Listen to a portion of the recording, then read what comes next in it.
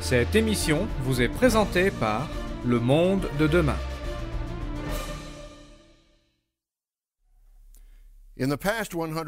Au siècle dernier, notre planète a connu deux guerres mondiales.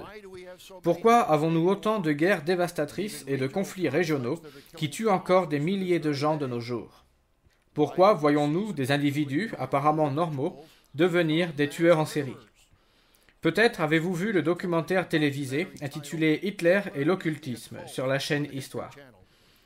Adolf Hitler ordonna aux armées nazies d'envahir la Pologne le 1er septembre 1939, lançant ainsi la Deuxième Guerre mondiale, qui tua des millions de soldats et de civils.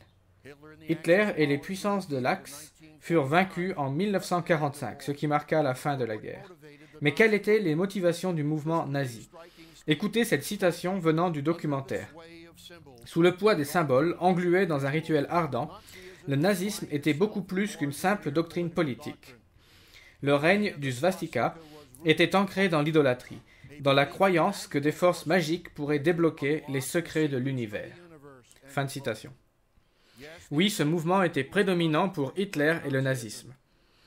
Mes amis, de nos jours, des millions de gens courent après les forces magiques de l'occultisme. Des millions d'enfants lisent des livres sur l'occultisme. Des millions d'adultes pratiquent l'astrologie, la magie et le satanisme. S'agit-il de divertissements inoffensifs Ou y a-t-il des dangers réels liés à l'occultisme? La Bible révèle comment vaincre les forces du mal.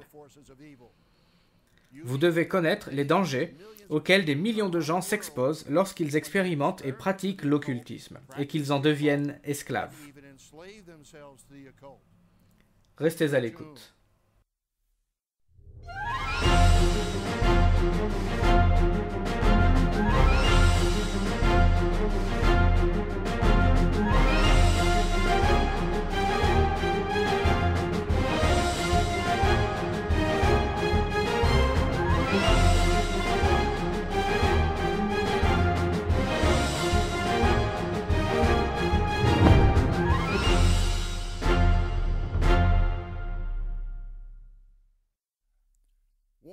Salutations chers amis à travers le monde.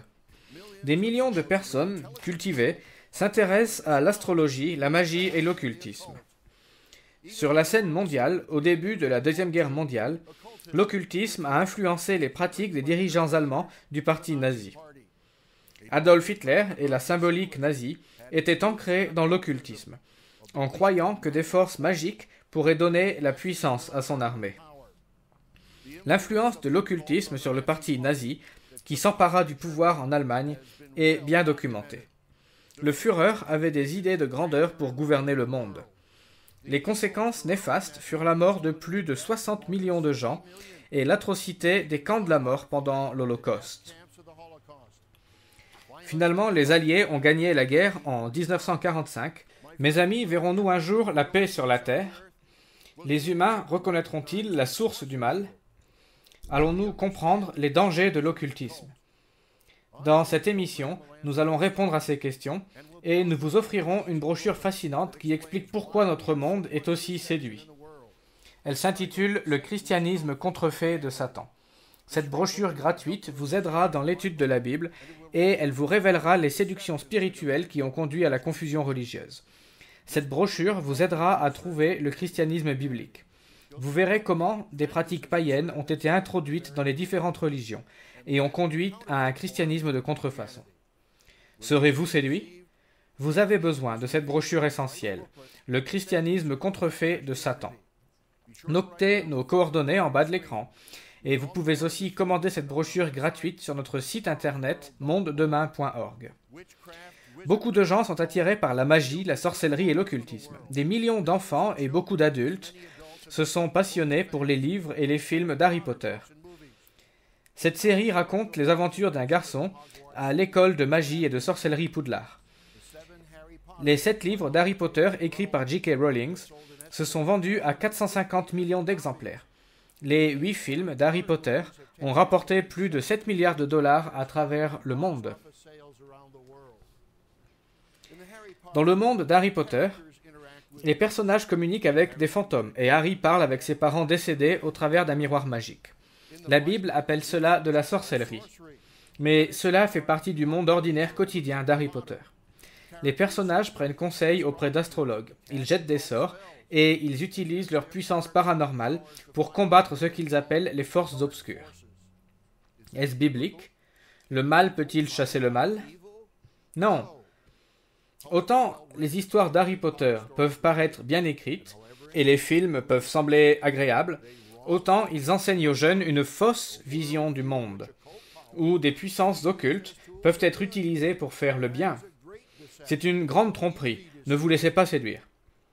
Peut-être avez-vous lu des histoires de vampires où des jeunes filles tombent amoureuses d'un vampire. Ces histoires sont souvent remplies de sous-entendus sexuels et elles glorifient la mort. Dans la série de livres et de films Twilight de Stephanie Meyer, une jeune fille risque le tout pour le tout lorsqu'elle tombe amoureuse d'un vampire. Mais les histoires de vampires ne visent pas seulement les jeunes. Les chroniques des vampires d'Anne Rice, euh, écrites pour un public adulte, se sont vendues à plus de 80 millions d'exemplaires. Que nous dit Dieu à ce sujet? Si vous avez une Bible, allez à Deutéronome 18 au verset 10. Deutéronome 18 au verset 10. Qu'on ne trouve chez toi personne qui fasse passer son fils ou sa fille par le feu. Personne qui exerce le métier de devin, d'astrologue, d'augure, de magicien, d'enchanteur. Personne qui consulte ceux qui évoquent les esprits ou disent la bonne aventure. Personne qui interroge les morts, car quiconque fait ces choses est en abomination à l'Éternel. Oui, les Écritures condamnent les pratiques occultes. Mes amis, comprenez bien comment ce monde a été séduit. Une des plus grandes vérités de notre monde actuel est clairement révélée dans le livre de l'Apocalypse. Si vous avez une Bible à portée de main, reportez-vous à Apocalypse au chapitre 12. Apocalypse 12 et au verset 9. Et il fut précipité, le grand dragon, le serpent ancien, appelé le diable et Satan, celui qui séduit toute la terre. Il fut précipité sur la terre, et ses anges furent précipités avec lui. Oui, Satan séduit toute la terre pas seulement une partie du monde. Et il est aidé en cela par des esprits appelés les démons. Comment Satan séduit-il la terre entière? À travers l'occultisme, les fausses religions, la fausse éducation, et à travers un système social qui recherche les plaisirs licencieux au lieu de rechercher Dieu. L'apôtre Paul nous donne cet avertissement dans 2 Timothée 3 au premier verset. Sache que dans les derniers jours, il y aura des temps difficiles car les hommes seront égoïstes, amis de l'argent, fanfarons, hautains, blasphémateurs, rebelles à leurs parents, ingrats, irréligieux, insensibles, déloyaux, calomniateurs, intempérants, cruels, ennemis des gens de bien, traîtres, emportés, enflés d'orgueil, et aimant le plaisir plus que Dieu, ayant l'apparence de la piété, mais reniant tout ce qui en fait la force. Éloigne-toi de ces hommes-là. Mes amis, écoutez cet avertissement. De nombreux politiciens, parents et enfants sont induits en erreur par les séductions de ce monde. Écoutez ce que Jésus dit dans Matthieu 24 au verset 11. Plusieurs faux prophètes s'élèveront et ils séduiront beaucoup de gens. Serez-vous séduit? Comment pouvez-vous savoir qui dit la vérité? Vous avez besoin d'une source qui vous donne la vérité, et cette source, c'est la Bible. Voici ce que dit le prophète Ésaïe. Ésaïe 8, au verset 19. Si l'on vous dit, consultez ceux qui évoquent les morts et ceux qui prédisent l'avenir, qui poussent des sifflements et des soupirs, répondez, un peuple ne consultera-t-il pas son Dieu? S'adressera-t-il aux morts en faveur des vivants? À la loi et au témoignage. Si l'on ne parle pas ainsi, il n'y aura point d'aurore pour le peuple. Dans ces émissions, nous vous mettons au défi de prouver toute chose, comme nous pouvons le lire dans 1 Thessaloniciens 5, 21. Allez vers la parole de Dieu, vers la Bible, pour contrôler chaque personne qui prétend vous enseigner la vérité. Vérifiez ce que nous disons. Nous vous demandons de lire vous-même dans la Bible. Comprenez bien que le monde des esprits est réel. Comme nous l'avons vu, Satan et ses démons influencent et séduisent le monde. Dans Deutéronome 18, nous avons lu que Dieu qualifie l'occultisme d'abomination. Le Dieu Tout-Puissant condamne la sorcellerie et la magie. Êtes-vous impliqué dans ces activités? Si c'est le cas, rejetez ce monde souterrain du mal et cherchez le véritable Dieu de la Bible. L'avertissement de Dieu dans Deutéronome 18 continue au verset 12. Car quiconque fait ces choses est en, abomination à l'Éternel. Et c'est à cause de ces abominations que l'Éternel ton Dieu va chasser ces nations devant toi. Tu seras entièrement à l'Éternel ton Dieu, car ces nations que tu chasseras écoutent les astrologues et les devins. Mais à toi, l'Éternel ton Dieu ne le permet pas.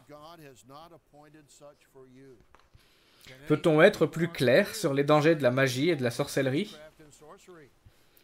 Pourtant, des millions d'adultes enseignent à leurs enfants qu'il n'y a rien de mal avec le personnage d'Harry Potter, qui pratique la magie et la sorcellerie. Le prophète Samuel déclara au roi Saül que la magie était un péché. Voyez cela dans 1 Samuel, chapitre 15, au verset 23. Car la désobéissance est aussi coupable que la divination, et la résistance ne l'est pas moins que l'idolâtrie et les téraphimes. Puisque tu as rejeté la parole de l'Éternel, il te rejette aussi comme roi. Nous vivons à la fin des temps et les dangers de l'occultisme sont réels. Nous étudierons davantage ces dangers dans la prochaine partie de cette émission, mais je voudrais maintenant vous offrir notre brochure gratuite intitulée Le christianisme contrefait de Satan. Satan a séduit le monde à travers l'occultisme et des religions de contrefaçon. Mais comment pouvez-vous identifier une contrefaçon? Cette brochure vous expliquera comment des groupes soi-disant chrétiens ont adopté des coutumes païennes. Elle vous aidera aussi dans votre étude de la Bible. Les prophéties bibliques prédisent qu'un grand faux prophète séduira des milliards de gens par ses miracles trompeurs. Serez-vous séduit? Vous avez besoin de cette brochure essentielle, Le christianisme contrefait de Satan.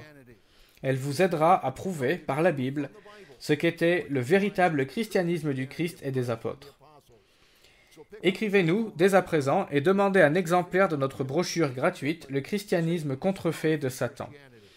Vous pouvez aussi commander cette brochure à partir de notre site internet sur mondedemain.org, où vous pouvez écrire à l'un de nos bureaux régionaux. Dans la première partie de cette émission, nous avons vu que la magie et l'occultisme étaient de plus en plus populaires. De nouveaux dangers liés à l'occultisme apparaissent. Certains dirigeants nationaux n'hésitent pas à consulter des astrologues ou des voyantes. Les livres d'Harry Potter se sont vendus à des millions d'exemplaires. D'autres lisent dans les cartes de tarot, invoquent les morts, pratiquent le spiritisme et l'astrologie pour acquérir davantage de puissance. Des millions de gens flirtent avec l'occultisme et ils cherchent des réponses auprès des voyants et des astrologues. Ces pratiques occultes sont trompeuses. La Bible condamne la pratique de l'occultisme. À quel point la magie s'est-elle infiltrée dans notre monde actuel? Récemment, la Russie a confirmé une loi interdisant aux marabouts et aux voyants de faire de la publicité. Il voulait combattre ce que le Daily Telegraph de Londres rapporte, une obsession nationale douteuse pour l'occultisme. Plus loin, le journal cite la députée russe Tatiana Yakovlevka, disant L'année dernière, à Moscou, 300 000 personnes ont fait appel à des voyants et des guérisseurs, selon le ministère de l'Intérieur. Fin de citation.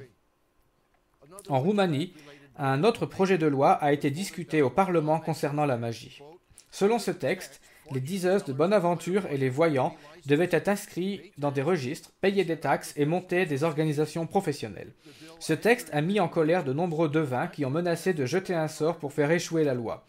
Il semble que le gouvernement se soit rangé du côté des devins en appelant les députés à voter contre le projet de loi, en craignant de légitimer la divination.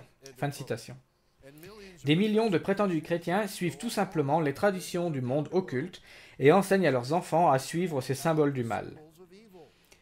Pour Halloween, les parents habillent leurs enfants en sorcières, en démons, en morts-vivants ou en squelettes. Pouvez-vous imaginer des parents chrétiens habillant leurs enfants dans des costumes représentant l'occultisme et le satanisme? C'est incroyable, et cela me rappelle non seulement les nations païennes qui sacrifiaient leurs enfants à de faux dieux, mais aussi les enfants d'Israël qui imitaient ces nations. Notez comment Dieu condamna ces pratiques occultes dans Psaume 106 au verset 36. Ils servirent leurs idoles, qui furent pour eux un piège, ils sacrifièrent leurs fils et leurs filles aux idoles. Ils répandirent le sang innocent, le sang de leurs fils et de leurs filles, qu'ils sacrifièrent aux idoles de Canaan. Et le pays fut profané par des meurtres. Ils se souillèrent par leurs œuvres, ils se prostituèrent par leurs actions. Dieu qualifie les pratiques occultes de prostitution spirituelle. Comment Dieu a-t-il puni son peuple à cause de leur méchanceté? Psaume 106 au verset 40. La colère de l'Éternel s'enflamma contre son peuple, et il prit en horreur son héritage. Il les livra entre les mains des nations. Ceux qui les haïssaient dominèrent sur eux. Leurs ennemis les opprimèrent, et ils furent humiliés sous leur puissance. La nation d'Israël fut envoyée en captivité à cause de ces pratiques abominables. Ici, au monde de demain, nous avertissons nos nations occidentales qu'une grande tribulation et une captivité s'abattront aussi sur nos peuples s'ils ne se repentent pas de leurs mauvaises pratiques. Certains diront peut-être que se déguiser pour Halloween n'est pas dangereux et que les enfants ne sont pas sacrifiés par leurs parents comme le faisaient les anciens Israélites. Certes, ce n'est pas un sacrifice physique, mais ils sacrifient assurément la vie et le potentiel spirituel de leurs enfants sur l'autel des ténèbres. Notez ce que l'apôtre Paul a écrit dans Éphésiens 5 au verset 11. Ne prenez point part aux œuvres infructueuses des ténèbres, mais plutôt condamnez-les. Vous et vos enfants, participez-vous aux œuvres des ténèbres? Dieu vous enseigne au contraire de condamner les œuvres des ténèbres. Le fait d'habiller vos enfants comme des démons ou des sorcières est un crime spirituel. Pour le Dieu Tout-Puissant, une imitation d'occultisme est une abomination. Souvenez-vous de l'avertissement de Dieu dans Deutéronome 18 au verset 9. Tu n'apprendras point à imiter les abominations de ces nations-là. N'allez pas grossir les rangs de ceux qui célèbrent le monde obscur de Satan et de l'occultisme. Ne participez pas aux célébrations d'Halloween, ni aux traditions similaires.